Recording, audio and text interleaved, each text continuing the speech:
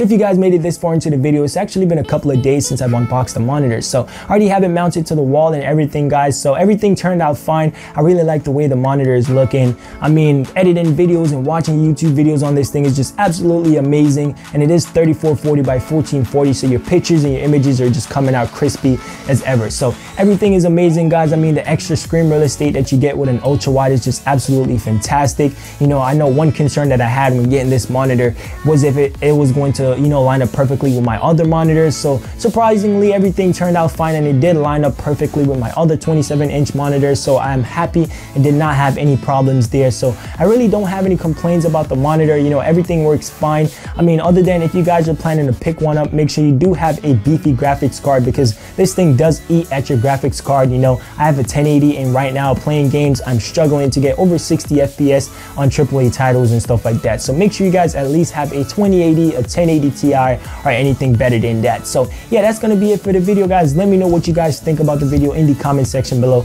You know, I did upgrade my setup a bit, so I will be doing a updated setup tour. So make sure you guys are subscribed and turning on notifications so you don't miss a post when I upload. And yeah, it's gonna be it for this video. I will catch you guys in my next one.